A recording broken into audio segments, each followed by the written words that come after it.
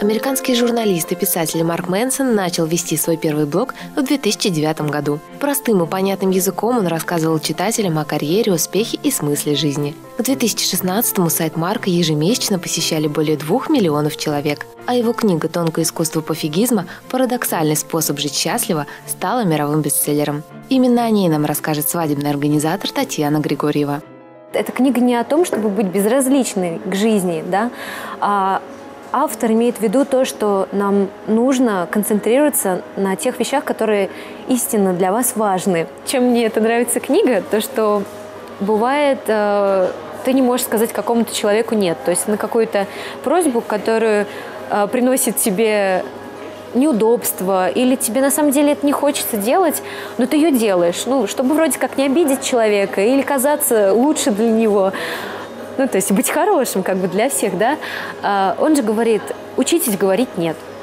То есть э, и я считаю, что это очень полезный навык. То есть уметь вычленять для себя первостепенное и второстепенное. И умение говорить «нет» — это вот как раз и позволит нам найти те самые главные вещи в нашей жизни, на которых нужно сконцентрироваться. А что-то, да, нужно отсечь, отмести. Чему-то надо все-таки научиться говорить «нет».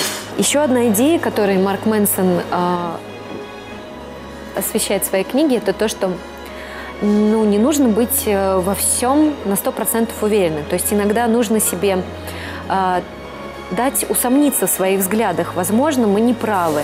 То есть и вот эта вот абсолютная правота, она э, в какой-то, род, э, какой-то мере э, мешает человеку как-то продвигаться, развиваться. То есть когда добиваются на самом деле успеха, ну, как считает автор, те люди, которые сомневаются постоянно в себе.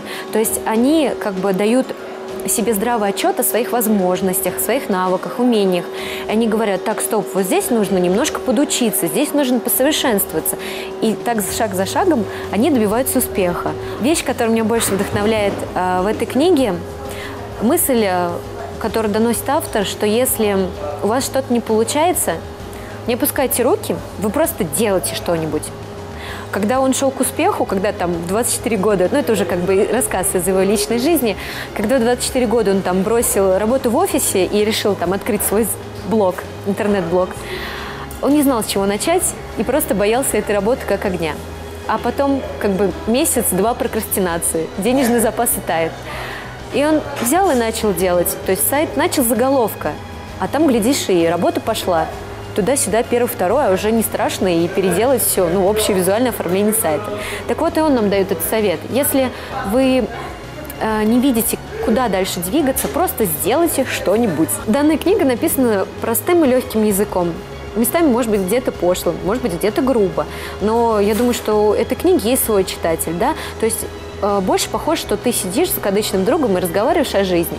И в книге очень много примеров из э, жизни э, каких-то известных личностей или там из жизни самого автора. То есть он на примерах своей жизни рассказывает, там, как бы нужно было бы поступить в той или иной ситуации. Однажды Пабло Пикассо, уже в старости, сидел в испанском кафе и рисовал что-то на использованной салфетке. Он не относился к таким вещам серьезно. Малевал то, что на секунду заинтересовало. Неподалеку сидела женщина и глядела на него с благовением.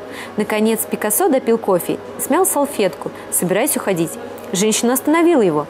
«Погодите», — сказала она, — «можно мне взять салфетку, на которую вы рисовали? Я заплачу за нее». «Конечно», — ответил Пикассо, — «20 тысяч долларов». Женщина отшатнулась, словно он бросил в нее кирпич. «Как? У вас ушло всего две минуты на рисунок!» «Нет, мадам», – возразил Пикассо. «На рисунок ушло больше 60 лет. Успех в любом деле основан на тысячах мелких неудач. И величина успеха основана на том, сколько раз вы терпели неудачу. Если кто-то лучше вас делает что-либо, скорее всего, он и чаще вас сталкивался с неудачей. Если кто-то хуже вас, вполне возможно, он не прошел тот горький опыт жизненных уроков, который выпал вам.